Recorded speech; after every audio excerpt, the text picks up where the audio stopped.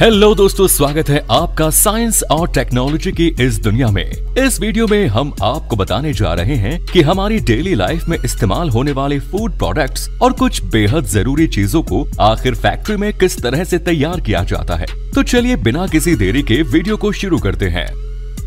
Tomato ketchup making tomato ketchup आजकल हर fast food में इस्तेमाल की जाने वाली चीज़ है। इसके बिना फास्ट फ़ूड इंडस्ट्री अधूरी है। तो आइए जानते हैं आखिर इसको फैक्ट्रीज में बनाया कैसे जाता है। टोमेटो कैचअप बनाने के लिए सबसे पहले टोमेटो के खेतों में बड़े स्केल पर टोमेटो हार्वेस्ट किया जाता है। इसके लिए बड़ी बड़ी ऑटोमेटिक हार्वेस्टिंग मशीनों का इस्तेमाल किया जाता है। ये ऑटोमेटिक मशीनें टमाटर के पौधों को डायरेक्ट ही ज़मीन से काट कर उन्हें कन्वेयर के थ्रू अंदर कंटेनर में लेती जाती है। और यहाँ अंदर लगी फ़िल्टर फ़िल्टर मशीनें टमाटर को उनके पौधों से सेपरेट करते हुए उसमें से टमाटर को अलग कर देती है और इस टमाटर को ये अलग कंटेनर में इकट्ठा करते जाती है। जब ये मशीन टमाटर के पूरे पौधे को काटती है तो इसमें कच्चे और पक्के सभी तरह के टमाटर आ जाते हैं। इसलिए फिर एक ऑटोमेटिक स्कैनर के ज़रिए इसमें से सफ़ेद वाले टमाटर, यानी कि कच्चे टमाटर को इनमें से फ़िल्टर कर लिया जाता है। फिर इन टमाटर को एक अलग कंटेनर में लोड किया जाता है। फिर इन सभी पके हुए टमाटर को टोमेटो केचप बनाने की फैक्ट्री तक लाया जाता है। यहाँ इन सभी टमाटर को एक बड़े पानी के कंटेनर में डाला जाता है। यहाँ इन टमाटर को वॉश करते हुए इन्हें कन्वेयर के थ्रू आगे भेज दिया जाता है। अच्छे से टमाटर को क्लीन करने के बाद इन सभी टमाटर को उबलते हुए पानी में डाला जाता है। यहाँ उबलते हुए पानी में इन टमाटर को काफ़ी देर तक उबाला जाता है। जब इन टमाटर की ऊपरी स्किन गलने लगती है तो फिर इन टमाटर को एक कन्वेयर की मदद से इस गर्म पानी में से निकाल लिया जाता है और इन उबले हुए टमाटर को कन्वेयर के थ्रू आगे भेजा जाता है, जहाँ कुछ ऑटोमेटिक मशीनों द्वारा इनके छिलकों को इन पर से हटा लिया जाता है। ऑटोमेटिक मशीन द्वारा इनके छिलके हटाने के बाद, इन सभी टमाटर को कन्वेयर के थ्रू वर्कर्स की एक टीम के पास भेजा जाता है। जहाँ पर इन टमाटर की मैनुअली छटाई होती है, ताकि इनमें कोई बिना छिला हुआ टमाटर ना रह जाए। इसके बाद में इन सभी टमाटर को फिर से एक बार कन्वेयर पर डालकर आगे एक मिक्सिंग मशीन तक पहुँचा दिया जाता है। यहाँ ये मशीनें इन टमाटर को क्रश करके इनका सॉस बनाती है और यहीं पर इनमें कुछ ज़रूरी इंग्रेडिएंट और प्रिजर्वेटिव मिला दिए जाते हैं, जो कि इसके टेस्ट के साथ इसकी उम्र को भी बढ़ा देते हैं। Next is sugar making process sugar making process sugar बनाने के लिए सबसे पहले खेतों में से गन्ने को काटा जाता है और फिर इन्हें ट्रकों में लोड करके शुगर मिल तक लाया जाता है। फिर इन गन्नों को एक कटिंग मशीन के नीचे रखा जाता है, जहाँ इन गन्नों को छोटे छोटे टुकड़ों में काट दिया जाता है। फिर इन टुकड़ों को पानी के कंटेनर में डालकर धोया जाता है। अच्छी तरह से धोने के बाद इन गन्ने को एक क्रशिंग मशीन से गुजारा जाता है। यहाँ ये मशीन इन गन्नों को क्रश करते हुए छोटे छोटे टुकड़ों में बदल देती है। इसके बाद आप देख सकते हैं कि यह गन्ना बिल्कुल पतले पतले रेशो में कन्वर्ट हो जाता है।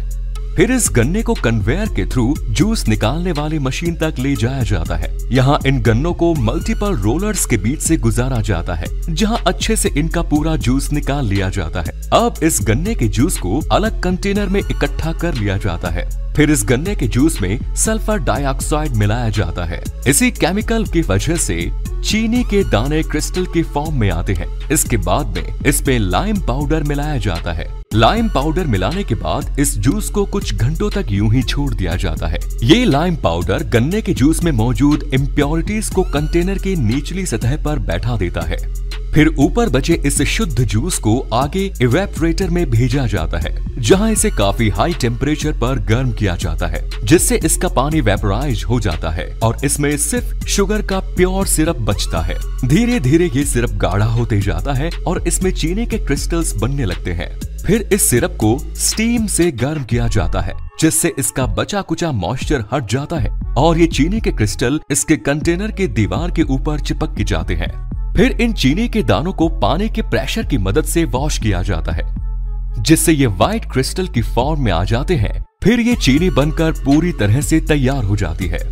फिर चीनी के दानों को अलग अलग छोटी बड़ी छलनी से छान लिया जाता है और इस तरह से इसमें से दो तीन अलग अलग साइज़ के दाने वाली चीनी तैयार हो जाती है और इसमें सबसे बारीक वाला पार्ट शुगर पाउडर बन जाता है। इसके बाद इस चीनी को बड़े बड़े कंटेनर्स में पैक करके मार्केट के लिए भेज दिया जाता है। Next is jaggery making jaggery यानी कि गुड़ बनाने की प्रोसेस भी लगभग शुगर बनाने की प्रोसेस के जैसे ही होती है। इसमें भी गन्नों को खेतों से काटकर उन्हें ट्रक में लोड करके फैक्ट्रीज तक लाया जाता है। यहाँ इन गन्नों को डायरेक्टली ही जूसिंग मशीन में डाल दिया जाता है, जहाँ इन गन्ने का जूस निकाल लिया जाता है। इसके बाद इससे निकले जूस को एक छलनी से छानते हुए एक अलग कंटेनर में जमा कर लिया जाता है। और जूस निकालने के बाद गन्ने के छिलके को अलग जगह पर धूप में सुखा दिया जाता है और फिर इस गन्ने के जूस को एक बड़े कंटेनर में ले लिया जाता है, जहाँ इसे आग के ऊपर पकाया जाता है। आपको बता दें कि इस गन्ने को पकाने में जो ईंधन लगता है, उसमें इसी के छिलके को सूखने के बाद जलाकर इस्तेमाल किया जाता है। जब ये गन्ने का रस उबलने लगता है तो इसमें ऊपर की तरफ़ इम्प्योरिटीज जमा होने लगती है। इस गंदगी को कुछ वर्कर्स द्वारा बड़े बड़े चम्मच में भरकर अलग किया जाता है। ये प्रोसेस कई घंटों तक की जाती है, जब तक कि इसकी प्यूरी इम्प्योरिटीज खत्म ना हो जाए। ऐसा करते हुए इसमें गन्ने का रस गाढ़ा और शुद्ध होते जाता है। फिर इसे बचे हुए शुद्ध गन्ने के रस में थोड़ा सा बेकिंग सोडा मिलाया जाता है।